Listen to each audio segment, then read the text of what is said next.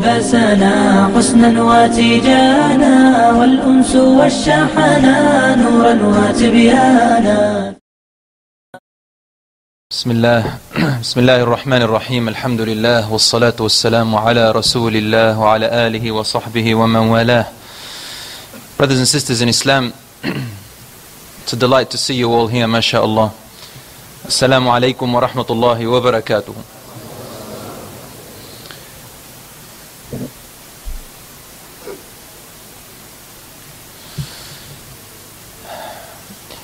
The Prophet sallallahu alayhi wa sallam said سيأتي زمان على أمتي There shall come a time upon my ummah, upon my nation, upon the people who follow me, upon the people who believe in me. They call themselves Muslims and believers. My ummah,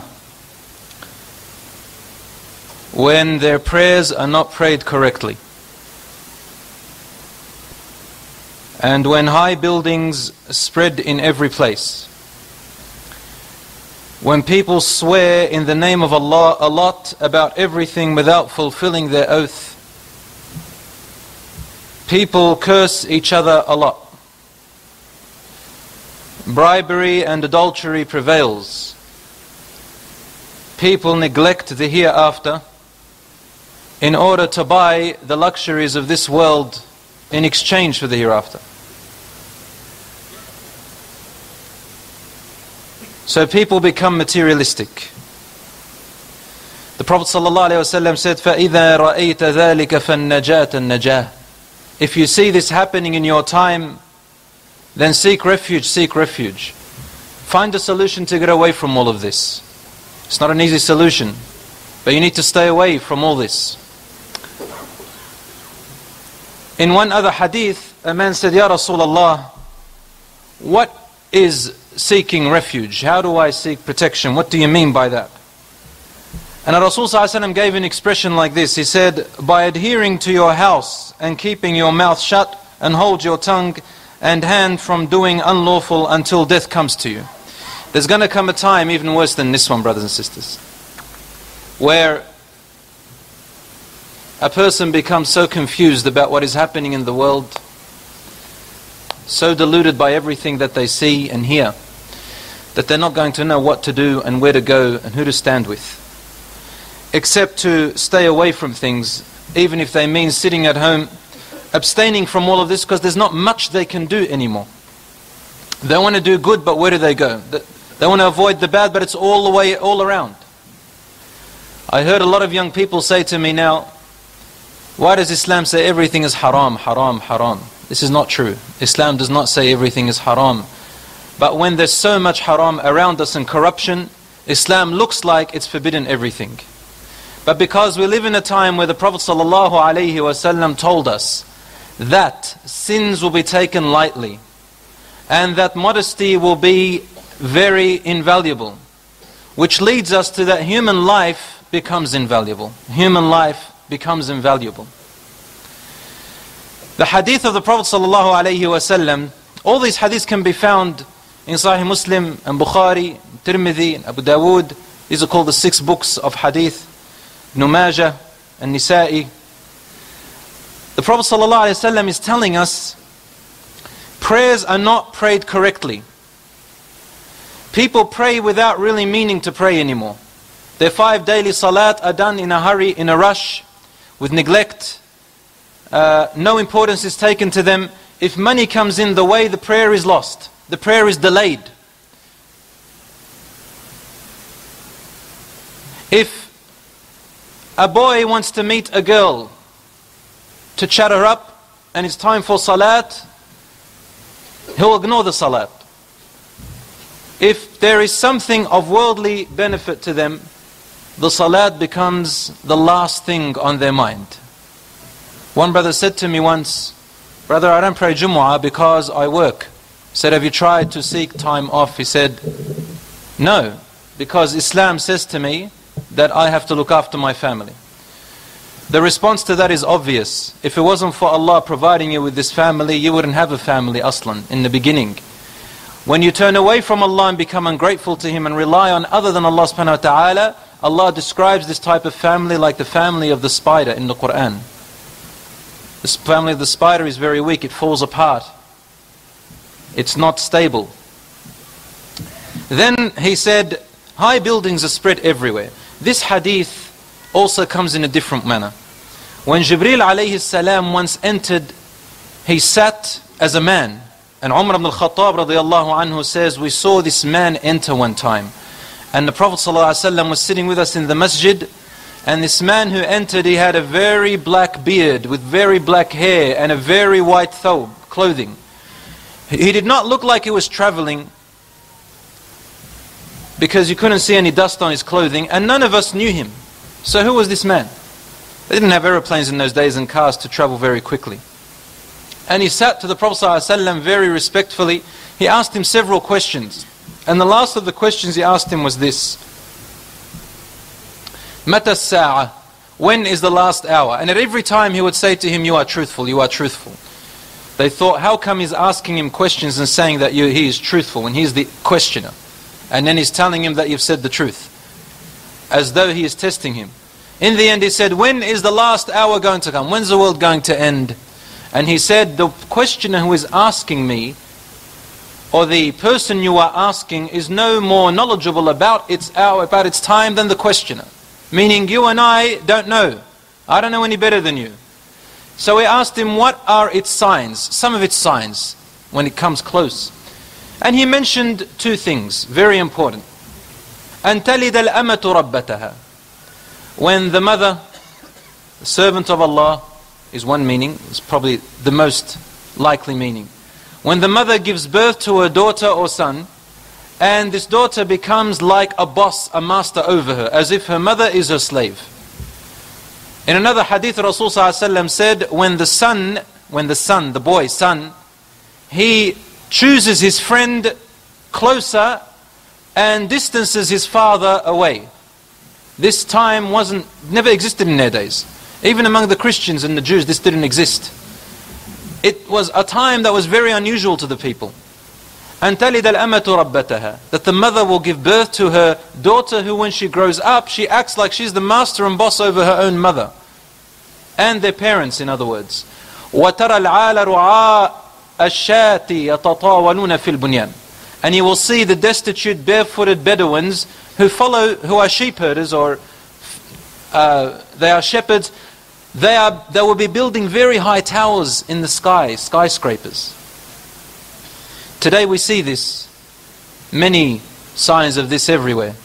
The Bedouins are actually today in the Emirates, places like the Qatar, now they're actually competing in this. يَتَطَاوَلُونَ فِي الْبُنْيَانِ means that they will be competing in making high towers. Who will make the higher tower than the other person? So materialism and uh, technology becomes the main motive of people in competing for. And if you look at society today, you will see that when people say we are an advanced society, we don't live in the caves anymore, what they're trying to tell us is that now we are more intelligent. With what? What are we more advanced in? Rasul said, يَتَطَاوَلُونَ فِي الْبُنْيَانِ They'll be competing about who can make the highest buildings, high rises. Meaning they'll compete with their technology, with their sophisticated engineering and building. What is so special about an advanced society who knows how to build machines or buildings, or send satellites into space, or build rockets, or build atom bombs? The only thing I can think about is to kill people, to destroy the poor, to show off in worldly possessions for mere greed and power uh, of the way that Iblis used to show to Adam when he said, I am better than him, you created me from fire and you created him from soil, and I will lead all of them astray and make them go into hellfire with me. Same thing. So we'll be competing with technology. But as for modesty, as for character, as for trust, as for family, as for worship of Allah subhanahu wa ta'ala, as for uh, justice, as for leadership in justice, looking after people. As for, you know, the uh, value of human life, of children, looking after the orphans, the poor, the needy, the destitute, all of this will be lost. No one will be thinking about it. In fact, let me tell you something. In America, there was a, an article which wrote that in America they make $50 billion on pharmaceutical products, on medicine alone. $50 billion on medicine. What does this mean? What is happening to the world? $50 billion annually of profit on medicine. These are people who are getting ill and sick. Are people getting more sicker and ill? Are there people pumping in these diseases? Are, are, are, are people denying medicine to these people? Why are they making the medicine so extremely expensive? We hear about cancer patients. And we hear about all these other types of patients in this severe illness. Leukemia. Juvenile leukemia as well. All these children who are dying of these, these diseases that have just popped up suddenly. And then we find that medicine cannot be afforded. You know, a brother said to me who has cancer, may Allah subhanahu wa ta'ala cure him. I'm coming to a point. He said, I went to the St. Vincent's Hospital, and over there they gave me this special medicine for my leukemia to treat me, to manage it. He said, This special medicine works in managing and relieves me of pain. But for one week's supply, it cost $3,500. I had this subsidy, you know, Medicare subsidy, which only required me to pay $35. But then they stopped giving it to me because they said the government cannot afford to pay for the medicine anymore for its people. So they went to a lesser medicine. And people are dying. Innocent people are being killed because medicine is too expensive. People are after capitalism just to make money and more money and to climb high and rise high. And I'm not saying this is the Arabs, I'm saying it throughout the world. 70, 80% of people are surviving on about 40 cents a day. What is happening to the world we live in?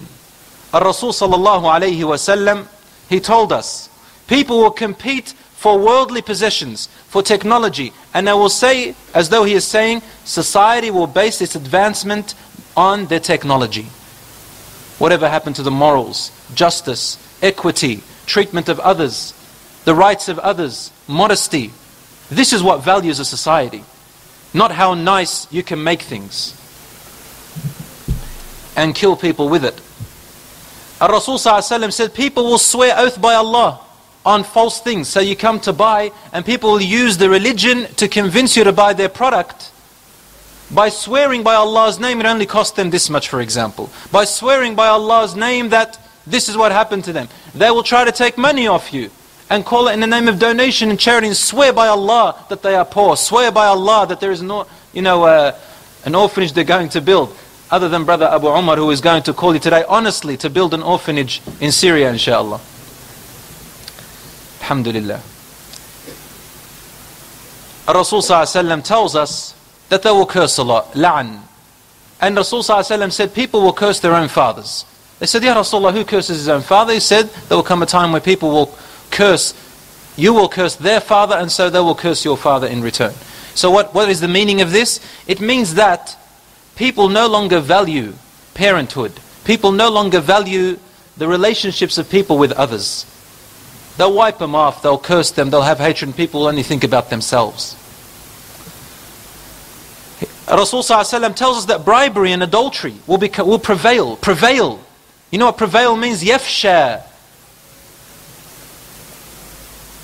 ويفشى الزنا والرشا أو الرشا أو الرشوة which is bribery Yafshi means, or Yafsha means to prevail, meaning it becomes the norm everywhere.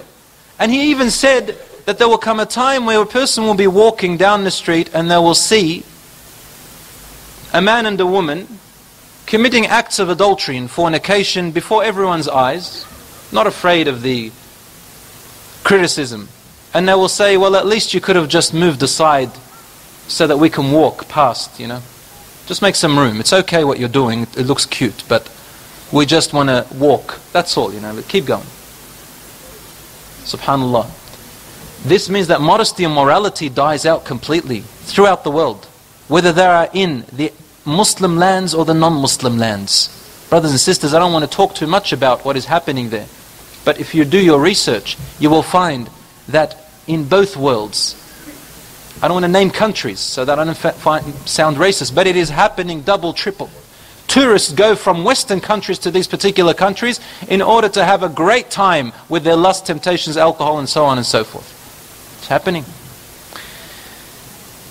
adultery becomes so prevailed that husband and wife divide and they divorce and children become, you know, to sort of live on their own and morality is gone because they cannot control their lusts and people will be afraid of getting married because they don't want to commit. They cannot control their desires. The man still wants to sleep around, the woman wants to sleep around. Nowadays, it's very difficult to find someone to identify you as a husband and wife. They say partner. Is this your partner? People are afraid to say husband and wife. Why? Because hardly anyone wants to get married anymore. So they say partner. Oh, we respect the fact that you don't want to get married and commit and value that partner. People neglect the hereafter in order to buy commodity from this world. They sell the hereafter for this world. And this is when a person neglects their worship, neglects the hereafter, and they focus on what they can see only in this world. Their clothing becomes extravagant. Their food, they live to eat. Their coffee, they live to drink coffee. They love to display themselves with their ornaments only to show off their beauty to the people whom they're not meant to show it off to. Yani the men and the women, they begin to display themselves in front of the opposite gender and forget about their wives and their husbands whom they should be sharing this beauty with. And the Prophet ﷺ said, I saw in hellfire. Brothers and sisters, I'm just quoting the facts. I'm not trying to put anything on anyone.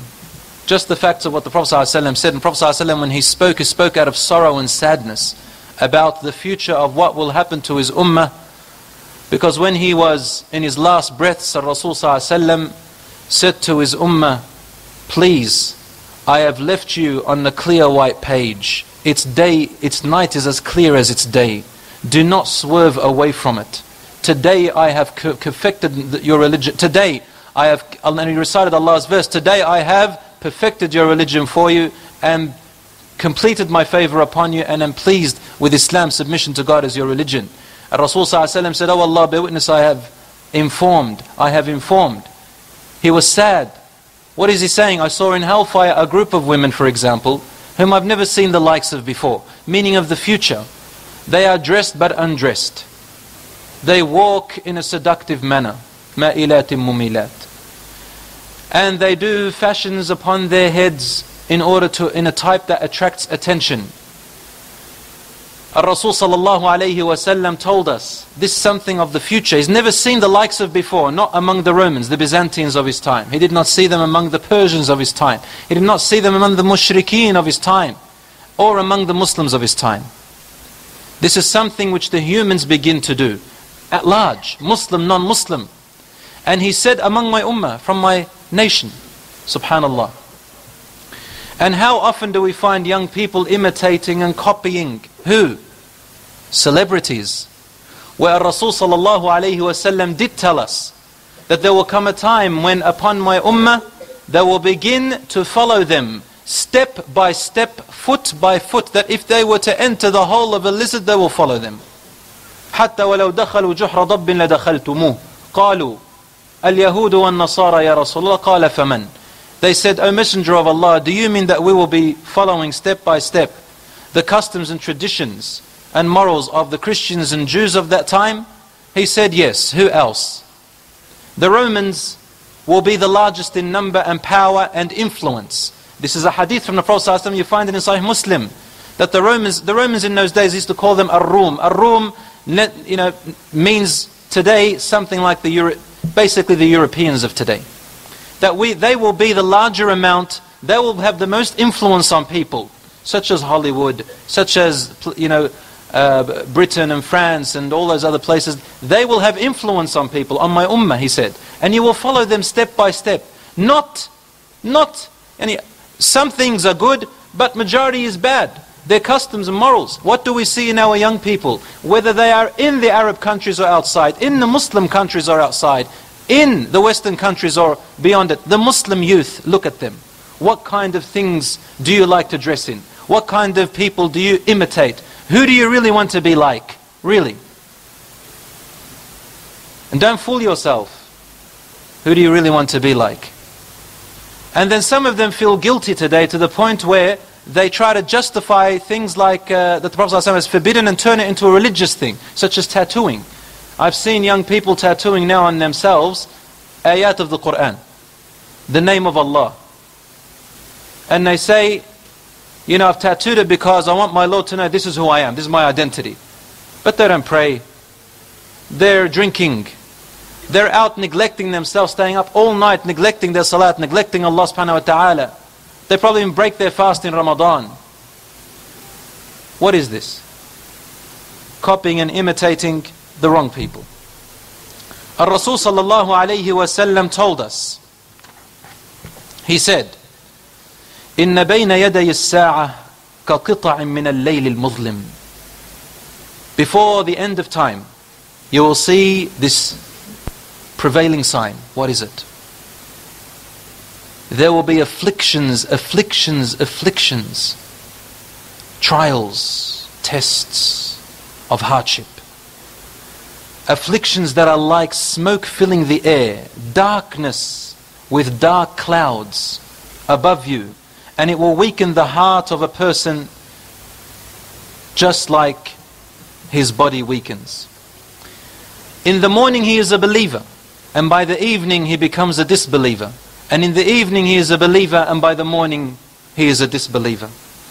So much fitan, confusion, deception, lies. A person in the evening is a believer. By the morning, they went on the internet and it confused everything about their religion to the point where they become atheists. They become something other than their own religion. We live in this time today. How many times I get this question now from young people I never used to get you know, a few years back. How do I know if my religion is the correct one? You know, I've been debating with this atheist and wallah, I don't know what to answer. I'm thinking of becoming an atheist myself. Yes. Have you heard about the Muslim Gay Society? There's one in Sydney, there's one in America, and there's one in London. The one in America is very old, the oldest one. The one in London is second oldest. There is a lesbian mosque and a male gay mosque. Now, Rasul told us, you will have, uh, before the end of time, a'immatum mudillun.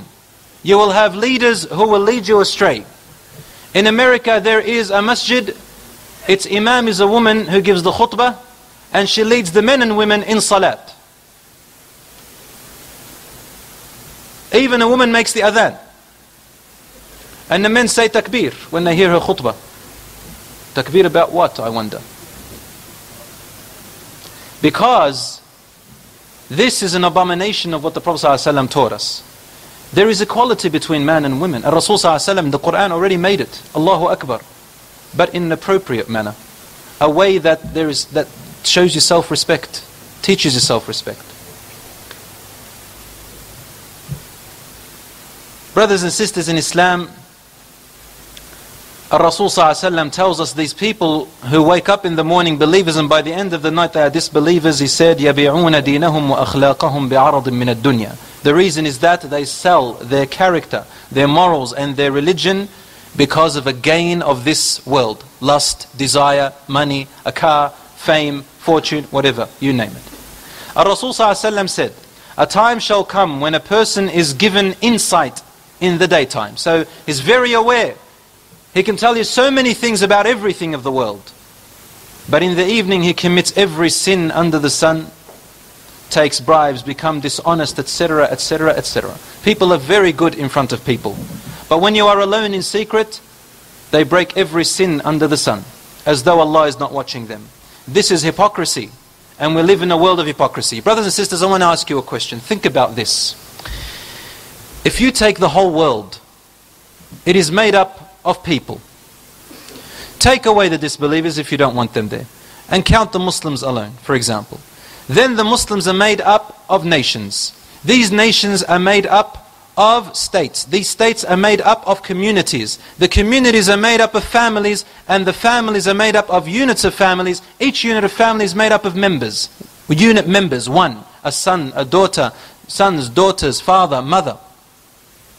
When this individual and the next individual and the third individual and all these one individuals become hypocrites and corrupt their state, what happens? The whole community is automatically corrupt. The whole state is already automatically corrupt. Then the nation, and then the world. More than one point something billion Muslims in the world. And look at our state. Look at our state. What were the images we saw? What Rasul sallallahu alayhi wasallam tells detrimental hadith wallahi. He said, لا خير فيكم إذا فسد أهل الشام. There is no good in you, O Muslims, when the day comes that the people of Sham are corrupt. Their state is corrupt. They're neglected. Their state is destruction. There is no good in you. As though saying, Sham is the heart of you. And if its people are not looked after anymore, what is wrong with the ummah of the Muslims of the world? Something is terribly, terribly wrong.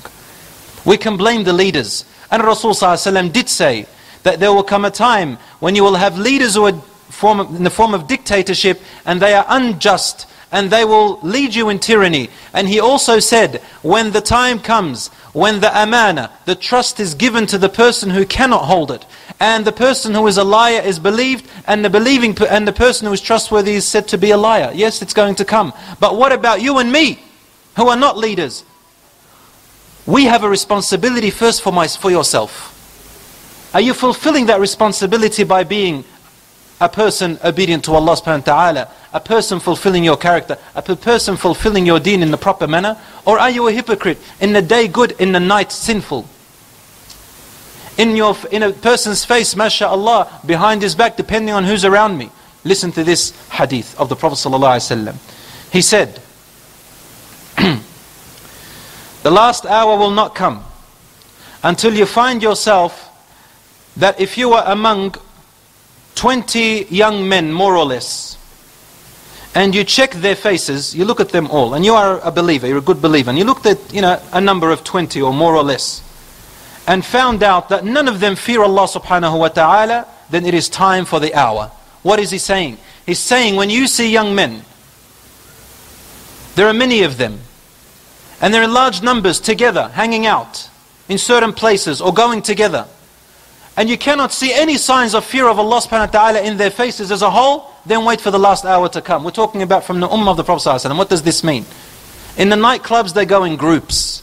In mixed weddings, singing and dancing, they're in groups. Going out to meet two or three girls, they're in groups. A concert happens where a singer comes along or a dancer or whatever, and they go in groups. Not one or two, in groups. They go to commit fahisha. They go to, you know, have argila all night until Fajr time. Neglecting the Maghrib prayer, neglecting the Isha prayer, neglecting the Fajr prayer because as soon as they get home they're too tired. They've got to give their body rights. So these young people full of energy and muscles and brains and, and strength which Allah subhanahu wa ta'ala has put you as the leaders of this ummah. You are the responsible people. Wasting their time, wasting their bodies, wasting their energy, wasting their youth, wasting their health. On what? On just fulfilling the desires of this body and smoking things that kill you, burning their money on things that kill them. Everywhere in the world they exist, brothers and sisters. Rasul said, when you see this, then await for the last hour to come. And he said, when there will be more evil people, persons than the good ones, to the point when, listen to this, when the believers will hide themselves. يستخفي منهم المؤمن كما يستخفي المنافق فينا اليوم The believers will hide themselves too ashamed or too embarrassed or too scared to show themselves that they are believers just like the way Rasul said just like the way hypocrites today hide themselves hypocrites in Medina there were 17 hypocrites who used to look like Muslims on the outside but they were actually spies there to plan and plot for the destruction of the Muslims. So they used to act like Muslims, but they were actually disbelievers on the inside. There were 17 of them. No one knew about them except the Rasul and Hudhayfah ibn al-Yaman. Even Umar anhu asked, who are they? And he wouldn't tell him. They were like that. And he said, it will come a time where the believers will hide themselves from the, because of the amount of any corruption that's out there. Wallahi, as a teacher, I see this among the students all the time, among the youth. At home, they're one thing. In the masjid, Allahu Akbar. But at school, with their friends, when they're out, totally different people, totally different. See sisters Depends on who they're sitting with. Subhanallah, suddenly their, language changes. From subhanallah to talking about other people, to bagging other people, to cursing other people. What is this? For Rasul said, the believers begin to feel shy to show that they're believers. They're too afraid. They don't want to get up and feel proud of it. Abadan. Because they're afraid that they'll be blamed by their friends and told, look at you, you're uh, acting like a Muslim now. And subhanAllah, I, what, one of the worst things we hear now is this trend where young people call each other this three letters um, uh, uh, um, acronym, FRG they call them, fake religious uh, guy or girl. Yani to deter people away from trying to be religious. You find them, mashallah, they come from home beautiful, modesty, character, and then they meet these other people and they uh, get overwhelmed by the bullying, you know, mental bullying. And so they become corrupt themselves. The shame goes away from them as if they weren't Muslims at all. Al-Rasul sallallahu alayhi wasallam now said,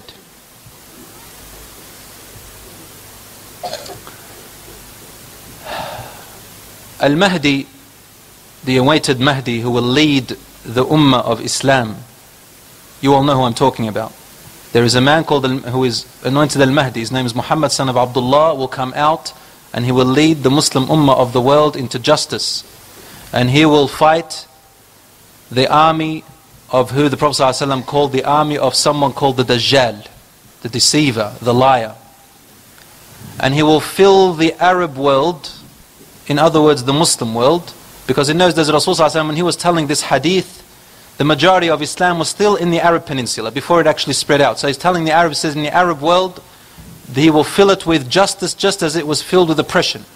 Some scholars say it actually literally means the Arab countries because the majority of injustice will be in the Arab countries, namely Asham. He said when the Mahdi comes out, this Arab world be filled with injustice. And you know what? Our Rasul tells us, he tells us in this hadith,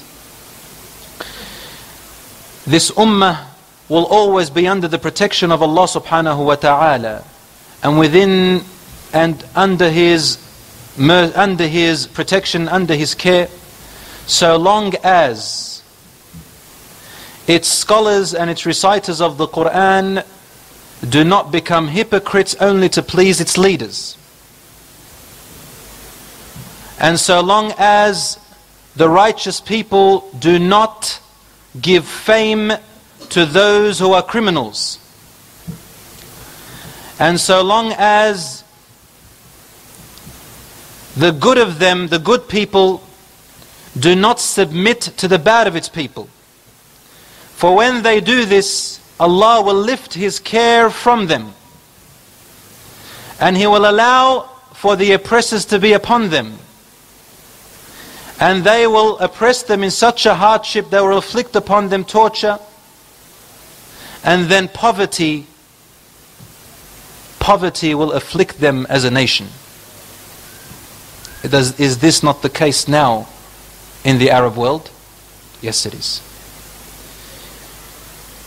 Although there are people, mashallah, still standing with angels above them in Asham and the places like that, I know.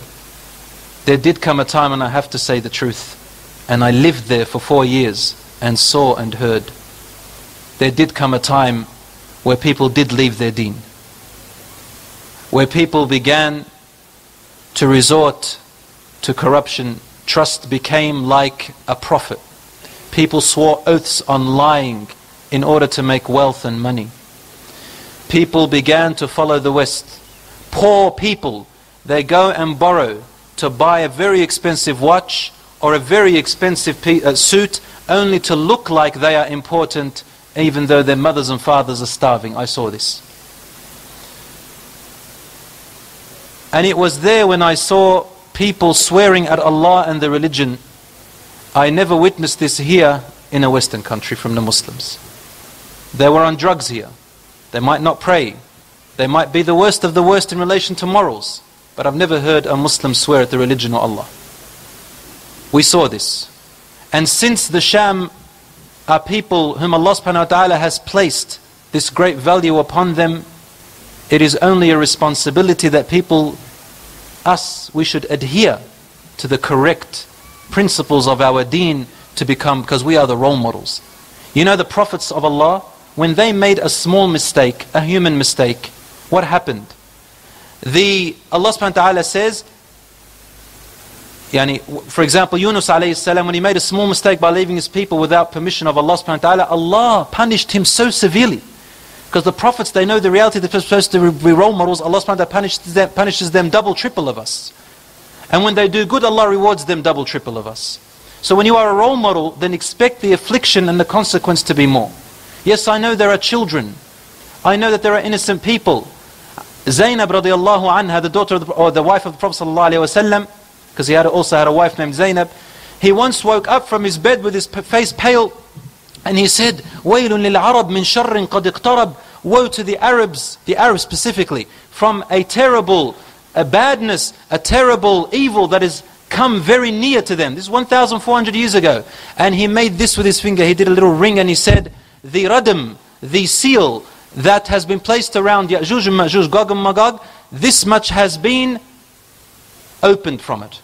Allahu A'lam, what this means for us. But what it does, what, it, what is important is that Zainab radiallahu anha, she said, Ya Rasulullah, anuhlaku wa fina salihun, will we be destroyed or will we suffer like this and while there are among us those who are righteous and innocent, Rasul said, Yes, إذا كثر الخبث. If immorality, immodesty, badness, evil, it expands and spreads and becomes the prevailing thing.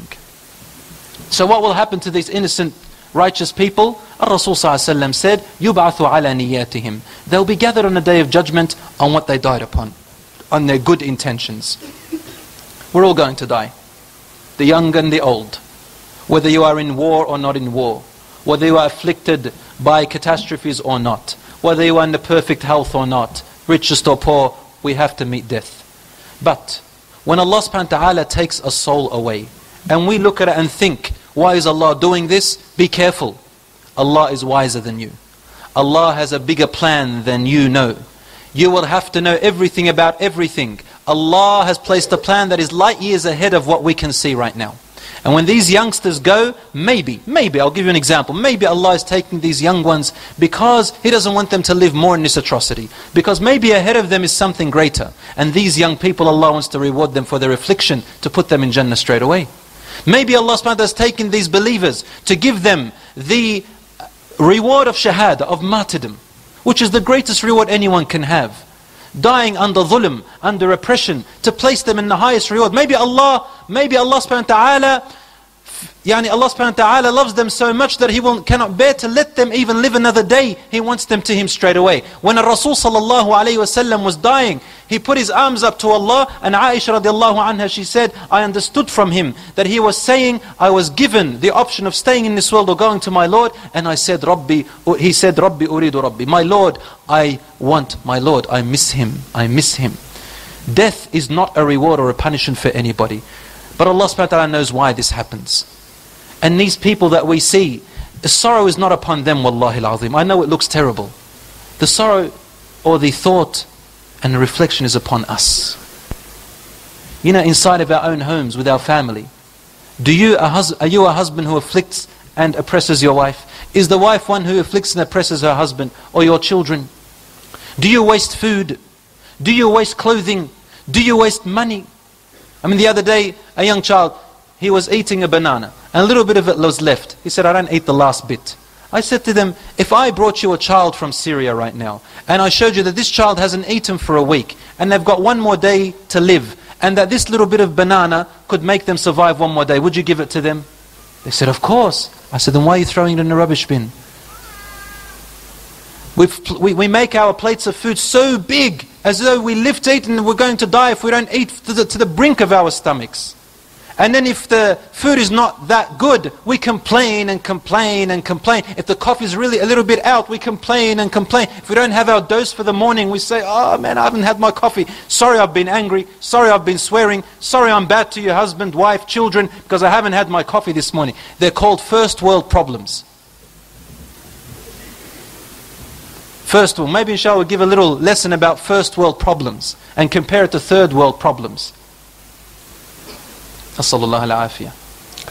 Sist- Brothers and sisters in Islam, I won't take too much of your time. In my long conclusion is this. We live therefore in a time that is paving the way for the coming of this person called Ad-Dajjal. Ad-Dajjal literally means the liar, the deceiver. And this deceive, deceiver cannot deceive people so perfectly until a road or an environment has been prepared for his coming. He can't just go in like that. It has to be prepared. Just like the road for atheism was prepared in the 17th century when the Church of Christ fell. People didn't, you know, trust the church anymore. So people like Darwin, Charles Darwin, and other um, uh, um, uh, physicians and theorists, they came up to say there's no God. And suddenly now it's atheism. Just like they paved the way for homosexuality to be accepted. When you don't believe in God, you don't believe in a soul, you're just like an animal. So they said, well, you know, animals are gay as well. We've seen monkeys do it like that. So why don't we just be like them? They paved the way, they set the pace. And then all these other catastrophes come along. A Dajjal requires that the environment has to be set up for him. And with all this Dajjal, this era of deception we live in today, you look at the media and you don't know what to believe anymore. You trust Al Jazeera, then the next day you see something, you think, oh my God, can I really trust them? You trust another uh, media site, and then the next day something kills you. And where do you go? Media is the most powerful tool today that has ever existed. The most powerful. And we do not live in a world of wars with, with weapons anymore. It is a war of ideology and media. Media. Deception upon deception upon deception. For Rasul sallallahu alayhi wasallam tells us, I want you to listen to this beautiful hadith, which is in Bukhari and Muslim. He said, كيف بكم What will you do when كيف بكم What will you do when Iraq Iraq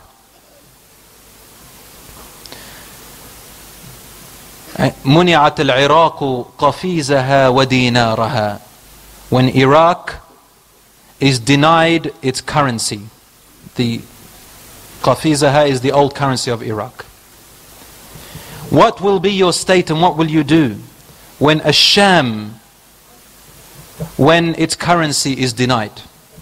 And what will you do when Egypt, its currency will be denied? And you return to where you began in the first place. What does this mean?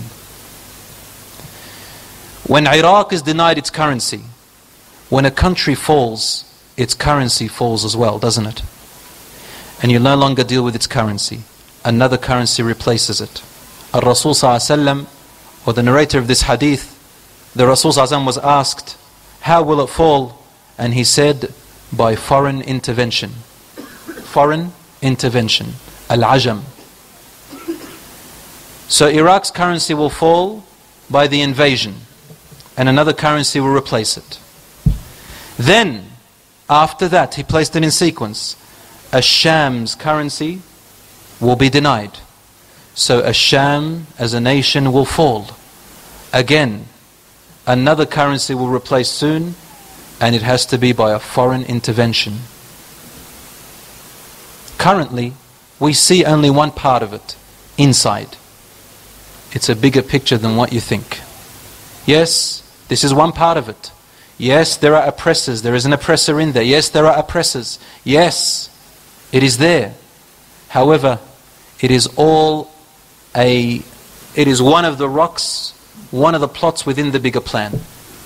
Then Rasul said, after Asham, he mentioned Misr, Egypt. You think it's over for Egypt right now? According to this hadith which is in Bukhari and Muslim, something else is coming up. When the currency of a nation falls, it means that the country itself falls and there is an invasion. As Rasul mentioned over here. It's not happened to Egypt yet. But this is, seems like the sequence that Rasul is informing us about it.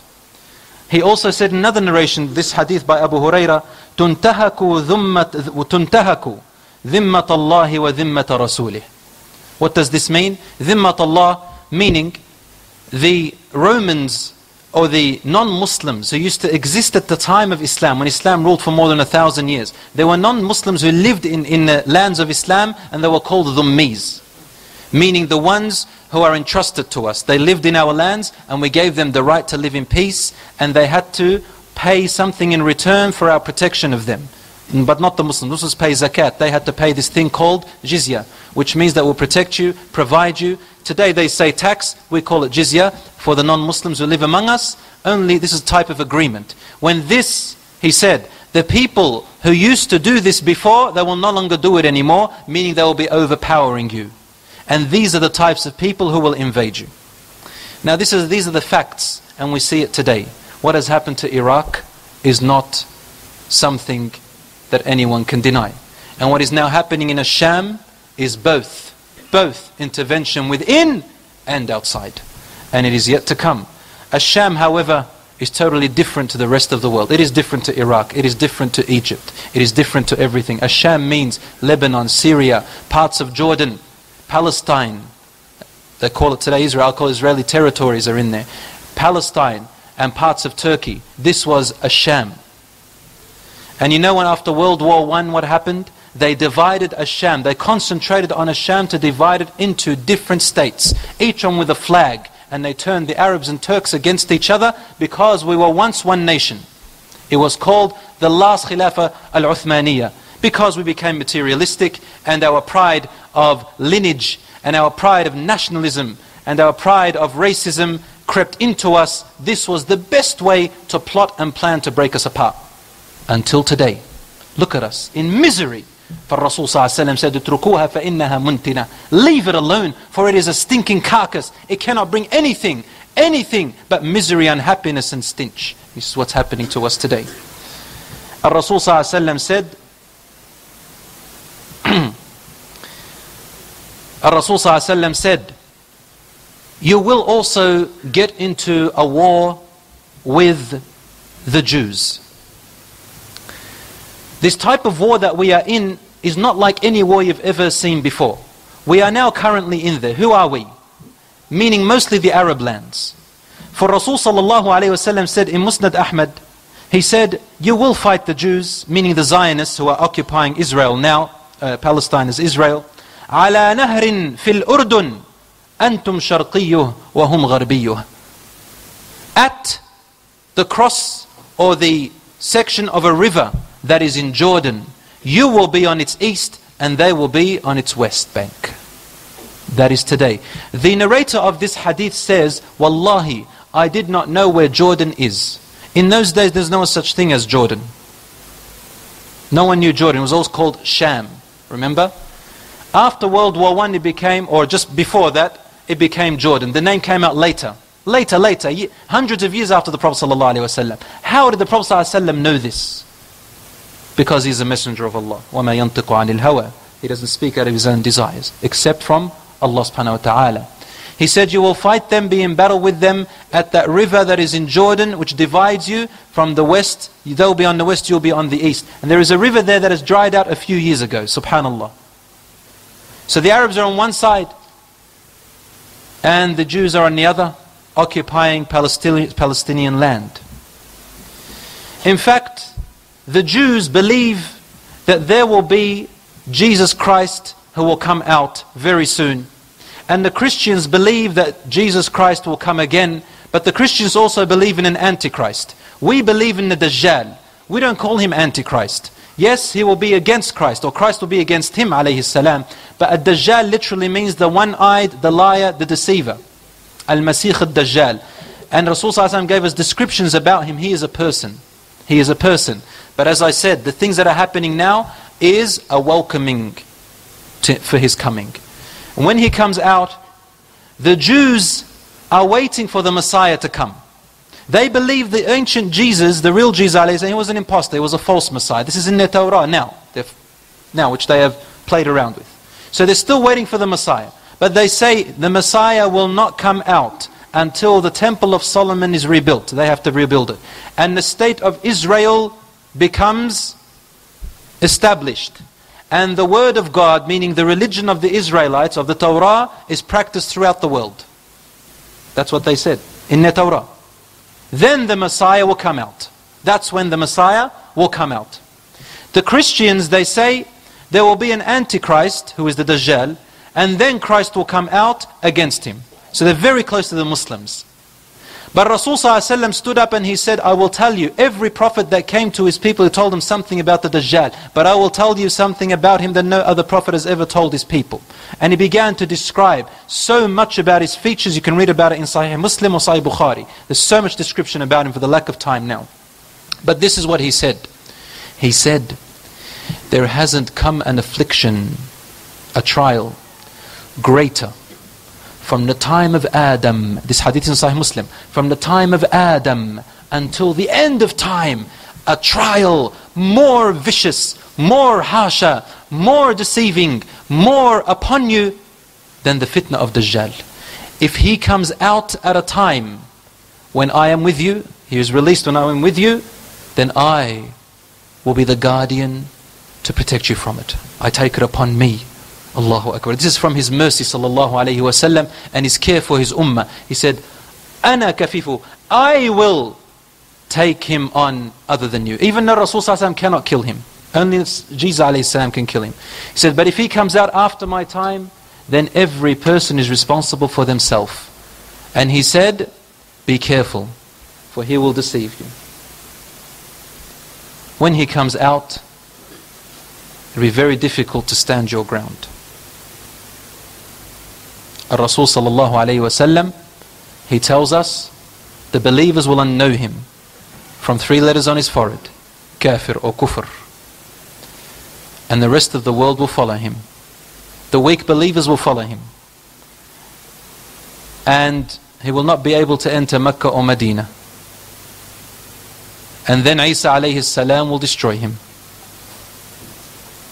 This will happen in Palestine. And the Mahdi will rise in Asham, in Syria, in Damascus. And there will be a great war between the Romans, the Europeans of today, 80 flags against the Muslim nation by itself in Asham. It is going to happen soon. After Egypt loses its currency, Al Mahdi will come out. So these are only the beginning of the beginning of what is yet to come, brothers and sisters. The result of it, well, over time the Muslims left the deen of Allah subhanahu wa ta'ala and became materialistic. It's as simple as that. Materialistic, competing with materialism, and selfless selfishness, thinking about ourselves, and putting our deen in our hands and our world on our heads so that if the hat on our heads gets out of place, which is our dunya, we put what is in our hands on the floor, which is our deen, in order to fix our dunya. If the dunya is fixed, I'll grab the deen. If the dunya is wrecked, I'll wait. I don't have to practice the deen right now. This is the metaphor I give you. I ask Allah subhanahu wa ta'ala to release us from the misery that we are in now. I'm talking about the misery of our hearts. I ask Allah subhanahu wa ta'ala to accept the martyrs, those who have died under oppression. I ask Allah subhanahu wa ta'ala to protect our brothers and sisters in Syria, in Egypt, in Libya, in Chechnya, in uh, Burma, in uh, in the uh, in the, uh, subhanallah in you tell me brother. In Bali. Ma Mali sorry brother. Subhanallah. I said Burma Allah subhanahu wa ta'ala protect them. In Mali, everywhere in the world, wherever they are oppressed, I ask Allah subhanahu wa ta'ala to forgive our sins and accept our dua. Brothers and sisters in Islam, this is what I have for you today. It is only the surface of what the uh, Prophet ﷺ told us about the coming of the last hour. I ask Allah subhanahu wa ta'ala to make us among the people of the righteous and to make us see truthfulness from falsehood. هذا وصلى الله على نبينا محمد وعلى آله وصحبه أجمعين. وآخر دعوانا الحمد لله. النور ألبسنا حسنا وتجانا والأنس والشحنا نورا وتبيانا.